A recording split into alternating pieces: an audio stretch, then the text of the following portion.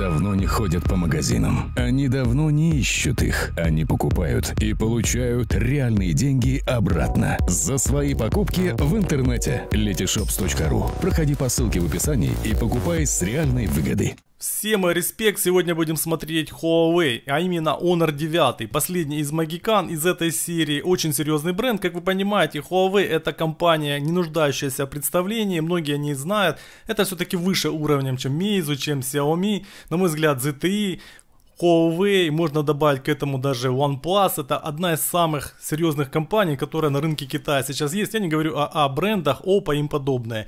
Итак, друзья, что нам отправил продавец, помимо самого смартфона, защищенное стекло на экран, силиконовый чехол, простенький, дешевый, и в качестве подарка вот такая вот незатейливая штуковина, подкладка под сам смартфон, подставка для того, чтобы смотреть фильмы, кто любит компании. Итак, друзья, что теперь внутри? Давайте рассмотрим сам смартфон. Коробка у нас нестандартное именно расположение, как вы видите, да, не как обычно сверху открывается, а сбоку.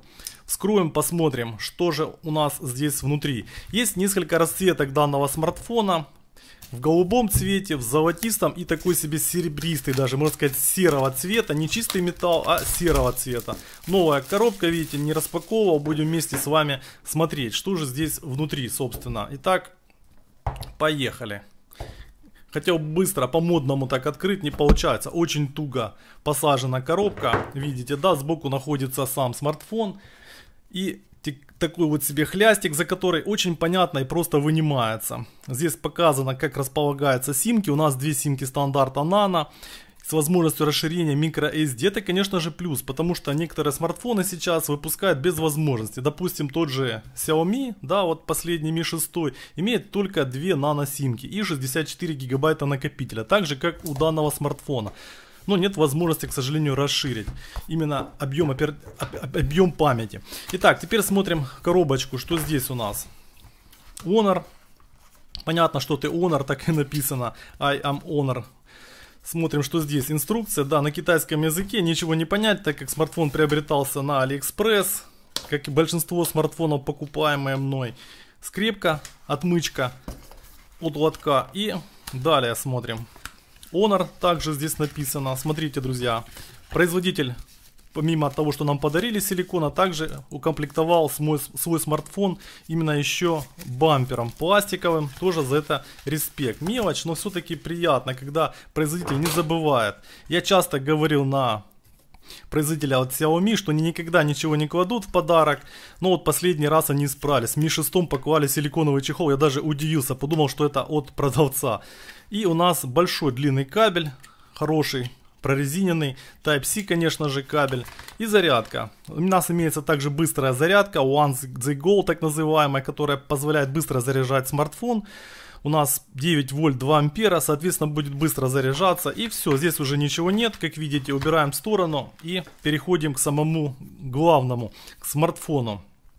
Такая интересная штуковина прикрывает его. Можно, конечно же, вот так распаковать. Можно было вынять его, допустим, вынуть его с помощью этой пленки.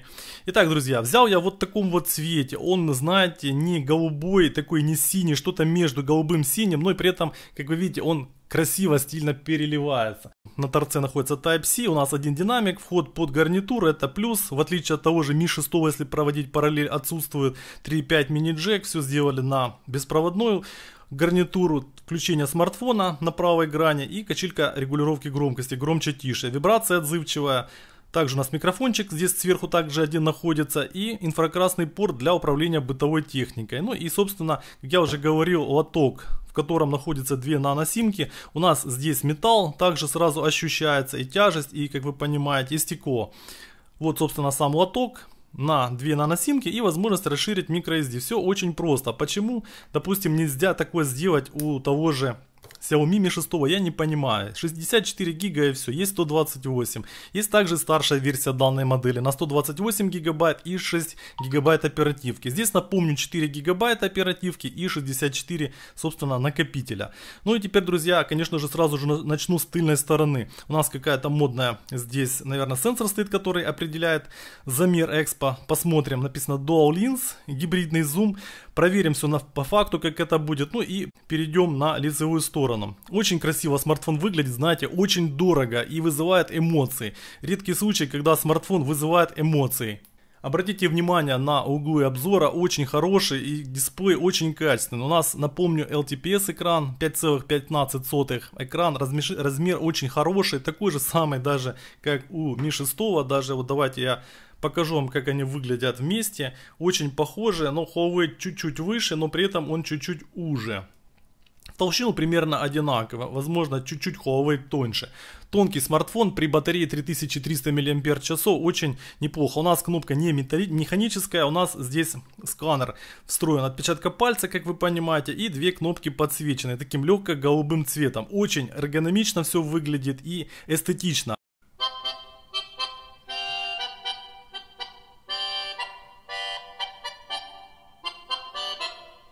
Очень хороший динамик, такой, знаете, басовитый, слышны низы, при том, что по отношению к смартфонному динамику такой, конечно же, говорить нельзя, что слышны низы, но слышно такой слегка басовитый, так называемый дорогой звук. Но при этом минус для меня в том, что нету радио. Это не очень приятно, да. Кому-то, возможно, не нужно это радио. Есть сейчас интернет, есть онлайн радио очень много. Но захочется кому-то, допустим, послушать просто местное радио. И, к сожалению, нет этого. Для меня это все-таки минус данного смартфона. Есть смена обоев, темы разные всевозможные по категориям. Видите, да, такой ломаный язык русский, но при этом все понятно. Попутно, конечно же, устанавливается у меня сейчас обновление. Посмотрим по категориям, рейтинг. Все это работает работает. Назад возвращаемся. Календарь, посмотрим, как выглядит. Да, хороший перевод. Календарь, контакты, книга контактов, телефон, допустим, да, видите, русская раскладка есть, ну, китайские какие-то сервисы, те, которые записывались, но имею в виду раскладка, видите, кириллицы есть, нам понятные, это удобно для тех, кто смс набирает, соответственно, по быстрому доступу. Для тех, кому важны цифры, в Antutu 123,5 тысячи, результат неплохой, что-то между Snapdragon 810 и 820, вот такие вот результаты. Во время тестирования иногда где-то были легкие проседания в кадрах, но практически везде плавно все работает. Новый процессор, тот, который от Kirin делает свое дело в связке с Mali именно G71, поэтому для игрушек вполне сгодится, но есть, конечно же, вопросы к нагреву. Во время игры, возможно, будет очень и очень горячо. Обновила, друзья, все-таки смартфон. Для меня важно посмотреть, что изменится. Первое, что я заметил, это нормальный язык появился, то есть меньше вот этого английского языка. Для меня важно. Вот видите, да, шрифт такой чуть-чуть другой стал, более насыщенные буквы. Не знаю, возможно, это с обновлением поменялось. По камере также я скажу пару слов. Во время съемки камеры, когда я снимал, Скажу, что здесь пишет видео максимально в 4К, но и также в 60 кадров. Именно Full HD для меня это важно. Также формат RAW есть для любителей фото. Это говорит о многом. Здесь 20 мегапиксельный сенсор, тот, который э, монохронный, черно-белый и 12 мегапиксельный цветной. В связке получается очень хорошая фотография, действительно зачетно. Есть также регулировка в ручном режиме для меня это важно, то есть можно диафрагму регулировать, это важно, не люблю я когда в автоматическом режиме, ну и конечно же двукратный зум есть, тоже хорошо, очень удобно реализовано, все понятно, потому что все переведено, как вы видите, на нормальный человеческий язык, также есть профи видео, вот такой вот режим, также можно регулировать здесь и баланс белого, и ISO, и фокусировку, это очень хорошо для тех, кто именно, для кого важна именно камера.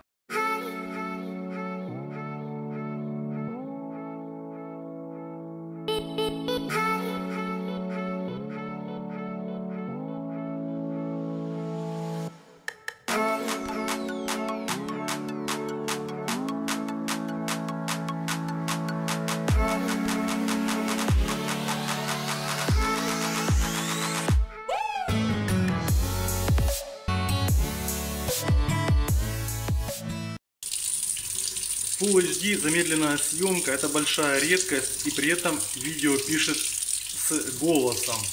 Это также огромная редкость.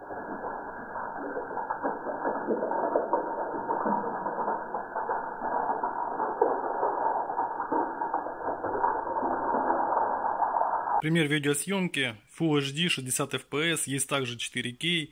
Проверяем как работает автофокус на данном смартфоне плавненько работает, не шустро, не быстро, но плавно. То есть нет вот этого елозения, когда елозит оптика. приближаю максимально близко. Вот обратите внимание на структуру. Да, шумы видны, потому что света практически мало. Свет искусственный, но на автофокусе неплохо, как видите, да, работает. Ну и послушайте, конечно же, насколько чувствителен микрофон к моему голосу. А вот за вот это аспект. Очень тонкая фокусировка на мелких объектах. Ну и скажу, что мне не понравилось, друзья. Во время видеосъемки, даже фотосъемки, очень сильно нагрелся смартфон. Там до 47 градусов было, вот смотрите, 47,5 даже. То есть, на мой взгляд, это горячо, не знаю. За счет того, что здесь еще металл по периметру, стекло, смартфон очень сильно подогревается. 47 это много, 40-41 еще нормально для смартфона, для любого. Тот же Xiaomi Mi 6 который я недавно тестировал, там в среднем 40-41 градус. 47 это много. Это ощутимо, сразу же горячий смартфон. Ну и работа, конечно же, сканера здесь отличная. То есть, видите, здесь не кнопка, а именно сканер, он и кнопка Home действие выполняет. Срабатывает очень быстро и очень качественный экран. Мне нравится. Очень высокого качества, 2.5D. Действительно зачетно. Нужно будет послушать в наушниках, как это все работает. И в обзоре более детально я расскажу о моем видении данного смартфона. Стоит он тех денег или нет. Напомню, он 400 баксов стоит. Ну, практически плюс-минус по стоимости того же Mi 6 Xiaomi. Да, там я долларов 15-17 сэкономил за счет кэшбэк. Ну, все мы понимаем, как это работает. Эконом экономия важна в наше время. Далее, что, друзья, еще хочу отметить о смартфоне. Конечно же, не такой он скользкий по ощущениям, как тот же Mi 6. Когда я его использовал, вот Mi 6, он настолько скользкий, что нужно очень его крепко держать. Здесь не такой он слизанный, вот, но внешне очень похожи смартфоны по своей форме. Даже вот сканеры чем-то похожи, кнопочки также подсвечены. Вот, видите также, друзья, что здесь много съедает операционка, именно сама оболочка, именно фирменная Huawei, съедает практически 3 гигабайта, 2,8, видите, из 4 у нас съедается, он остается практически гиг с копейками. Это сейчас бич современных смартфонов, очень много кушает, ну разве что если чистый Android, я имею в виду не оболочка, тогда конечно же очень хорошо. Также скажу по поводу розыгрыша OnePlus 5, к сожалению его не будет, потому что не то, что там не набралось 2000 участников, там практически около 500 человек. Такое ощущение, что людям не интересно это все, а как вы понимаете, я не могу разыграть дорогой смартфон за 500 долларов среди там 400-500 человек. Это ну просто мне не по карману, я не настолько богатый, чтобы разыгрывать среди людей такого количества дорогие смартфоны. Так что, друзья, прошу прощения, что конкурс не состоялся. Честно честно об этом заявляю. Спасибо за просмотр, до новых встреч, как обычно на канале, увидимся, пока.